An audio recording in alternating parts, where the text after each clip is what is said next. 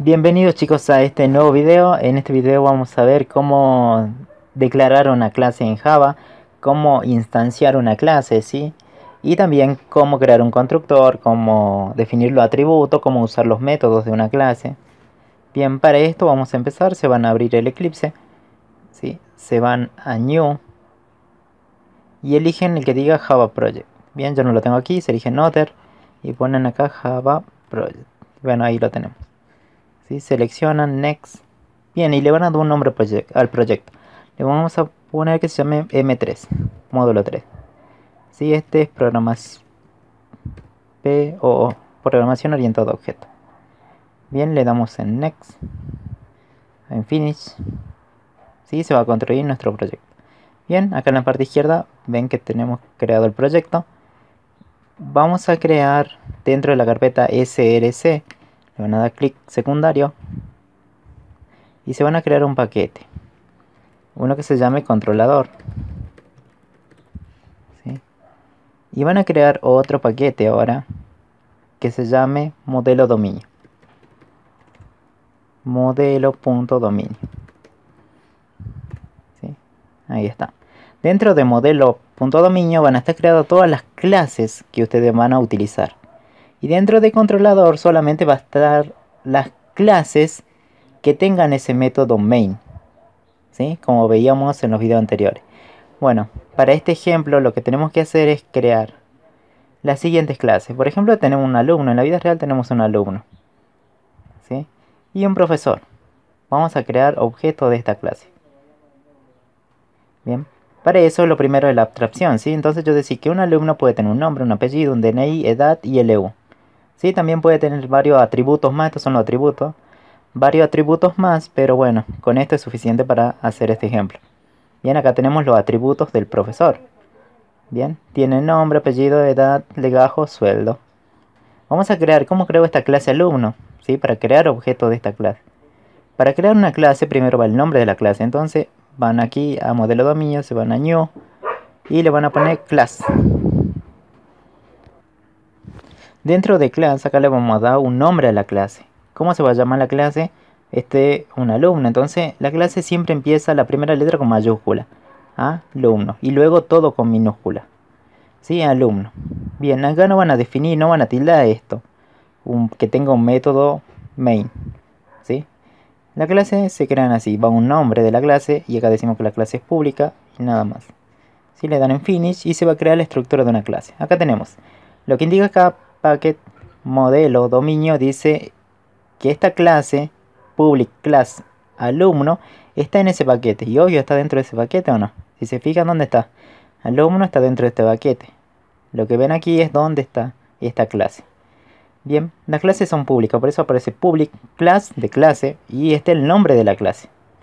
Y entonces ya tenemos esto entre abro llave y cierro llave va a estar definida la estructura de una clase Bien, ahora ¿qué hacemos? ¿Cómo se crean? Primero se crean los atributos de una clase. ¿Qué atributos tendrá un alumno? O sea, ¿qué características tiene un, tiene un nombre, apellido, DNI, edad y LU? Bien, ¿cómo defino acá los atributos? Los atributos son privados, ¿sí? Voy a poner private, ¿sí? Y luego, seguido va espacio, hacen, y va el tipo de dato. Por ejemplo, piensen, ¿el nombre de qué tipo de dato sería? ¿Sería un número? ¿Sería una cadena? ¿Sería, no sé, un tipo lógico? El nombre es una cadena de caracteres, por ejemplo, Cristian, una cadena de caracteres, entonces es un string, o sea, una cadena, String. ¿Sí? Y acá vamos a poner el nombre del atributo, seguido va el nombre del atributo, bueno, nombre, punto y coma. ¿Sí? Tenemos definido nuestro primer atributo. Ahora vamos a hacer para apellido, piensen qué tipo de dato sería. El apellido sería un conjunto de caracteres, entonces va a ser un string también. Va private, ¿sí? string, y va a apellido.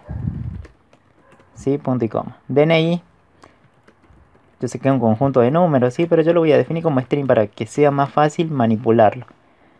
¿Sí? Porque el DNI, acuérdense, tiene como 8 dígitos.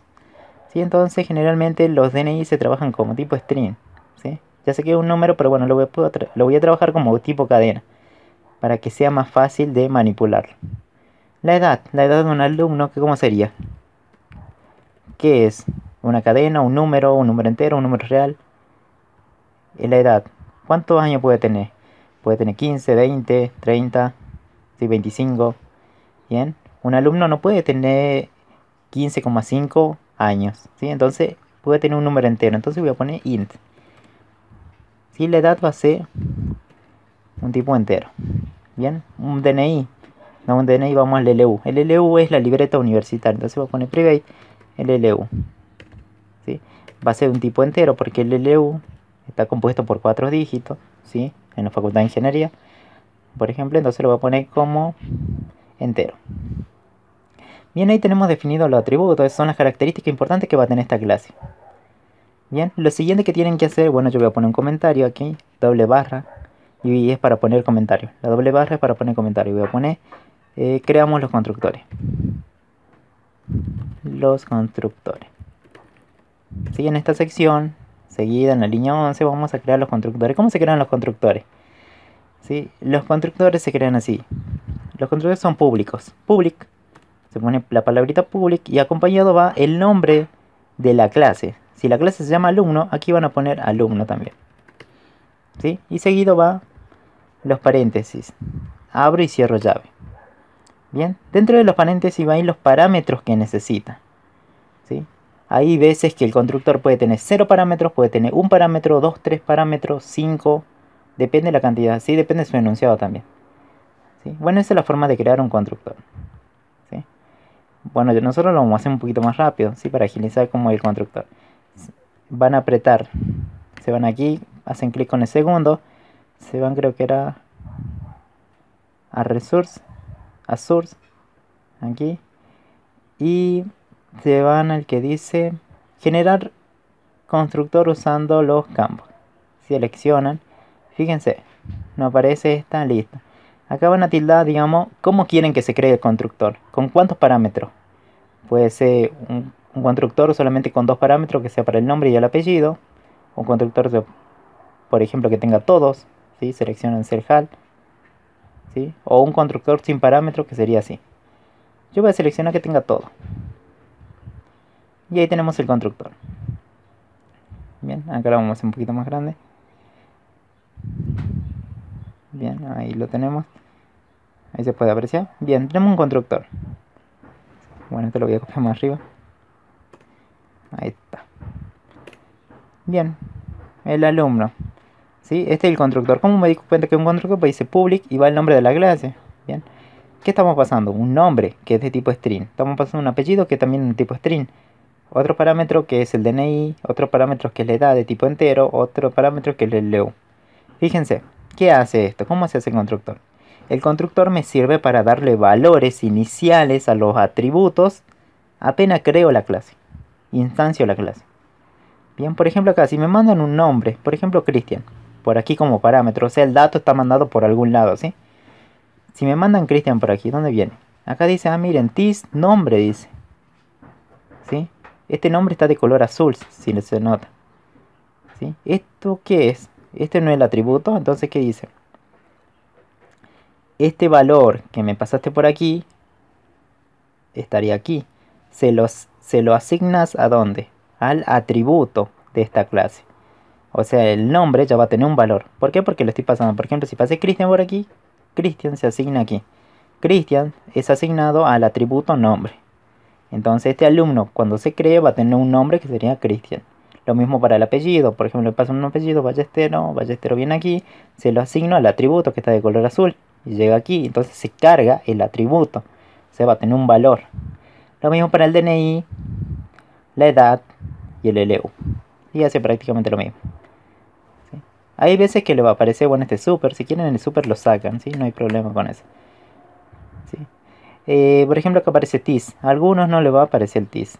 Si no aparece el TIS, es prácticamente lo mismo pero generalmente es mejor. Tis quiere hacer referencia. Tis significa esto, o sea que yo estoy parado en esta clase. ¿sí? Digo, en esta clase, punto, accedeme al nombre. ¿El nombre que vale? Este, el atributo. Entonces, asignale que este dato que está pasando como parámetro al constructor. Si pasó Cristian, Cristian viene y se le asigna el nombre. Bien, se pueden, pueden haber también eh, la cantidad de que quieran de constructores, ¿sí? de acuerdo a su enunciado. Por ejemplo, acá tenemos un constructor con todos los parámetros. ¿sí? O sea, con todos los atributos, ¿sí? Porque fíjense, asigno el nombre, apellido, DNI, e, edad y LU. Ahora voy a crear otro atributo, otro constructor, ¿sí? Se van aquí, source y yo quiero un constructor vacío. Presiono aquí y ya está, me aparece un constructor vacío. Saquemos este super. Bien. Fíjense, tenemos dos constructores. Un constructor con cuántos parámetros? 1, 2, 3, 4, 5. Y este es un constructor con cuántos parámetros? Con 0 parámetros. ¿Sí? Pueden existir, digamos, en una clase varios constructores. Pero fíjense, el nombre de los dos constructores es igual. ¿Por qué no me da error? Aquí en Java. Porque Java sabe que, está bien, tienen el mismo nombre los constructores. Pero ¿qué diferencia tiene entre este y este? En que este tiene parámetros, tiene 5 por lo menos. Y este no tiene nada, entonces yo sé cuando llame a este sin parámetros estoy llamando a esta estructura. Cuando llame a este y le pase 5 datos, estoy llamando a este constructor. ¿Sí? Bien, lo siguiente que van a hacer es crear los setter y getter. ¿Sí? ¿De qué? De los atributos. Los setter y getter son eh, métodos de acceso a los atributos, o sea, puedo darle un valor al atributo, por ejemplo al nombre, y obtener un valor del atributo. ¿Sí? O sea, yo voy a tener un setter y un getter por cada uno de los atributos. ¿Sí? Sería, de este tengo 2, tengo 2, 2, 2. Tengo 5 por 2 son 10. 10 métodos se van a crear. Tendría que crearlo, ¿no? Pero bueno, nosotros lo hacemos fácil. A clic secundario, se van a source, se van acá, generar, setter y getter. Eso ya automáticamente lo genera. Bien, y acá tildan eh, los atributos, digamos, si tildan ahí en apellido, este apellido es el único que va a tener setter y getter. Si tildan aquí, este también va a tener y getter, este también, este también y este también. De acuerdo al problema, pero generalmente se ponen todos, ¿sí? para que sea más seguro. Le dan a OK. ¿Sí? Bien, se crearon acá arriba.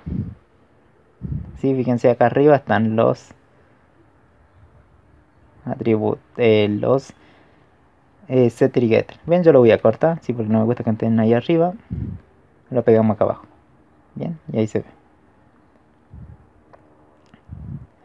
No sé si lo pueden ver ahí. Aquí tenemos los getter. ¿Sí? Acá están definidos. Miren acá. Hay un get para el nombre. Get nombre se llama. ¿Qué hace este get nombre? Dice que va. Es público, son métodos públicos, ¿sí? Método de acceso público, por ejemplo, public. Y acá va seguido el tipo de dato que me va a devolver este método. Va a devolver un string, no sé, una cadena. ¿Sí? El método se llama así. ¿Cuántos parámetros quiere tener? tiene ninguno, ¿sí? ¿Y qué hace dentro de su estructura? Dentro abro y cierro llave, ¿qué hace? Dice, retorname el nombre. Este nombre está de color azul. ¿Qué será eso de color azul? Nombre de color azul, ¿no es esto? Entonces está retornando el valor de quién? Del atributo nombre. Eso es lo que hace. ¿Y por qué puse string aquí? Porque obvio, ¿de qué tipo de dato es este atributo? es un string. Entonces la salida tiene que corresponder con lo mismo. ¿sí? Si es string lo que está saliendo, por acá tengo que especificar que sea un string. Bien. Fíjense, acá tenemos el set del nombre. ¿Sí? Eh, acá tenemos. Eh, ¿Cómo se llama? Va public. Y acá va lo que retorna. En este caso va void. Void significa nada. O sea, no va a retornar nada este método solamente va a hacer lo que tenga dentro de su estructura. O sea, va a realizar las acciones que estén dentro de su estructura. Por eso pongo void. ¿Vieron la diferencia? Si yo pongo algo aquí, un tipo de dato que devuelve, quiere decir que el método está retornando algo, devolviendo algo. Pero si pongo void, quiere decir que este método eh, está solamente realizando las acciones que estén dentro de su estructura. Nada más, no está retornando nada. Bien, el método se llama así, va seguido el nombre, que es setNombre fíjense cuántos parámetros tiene. Tiene uno, ¿sí? que es el nombre. ¿De qué tipo es este parámetro? De tipo string. ¿Vieron? Va primero el tipo de dato y luego el nombre del parámetro. ¿Qué dice aquí? Este nombre que pasa como parámetro se lo asigna donde tis.nombre. Nombre está de color azul, entonces está haciendo referencia al atributo que está aquí. Entonces, por ejemplo, si acá le pasaron Cristian, Cristian viene y se asigna al atributo. Bien. Y lo mismo tienen para todo. Si tienen un apellido, un DNI, edad.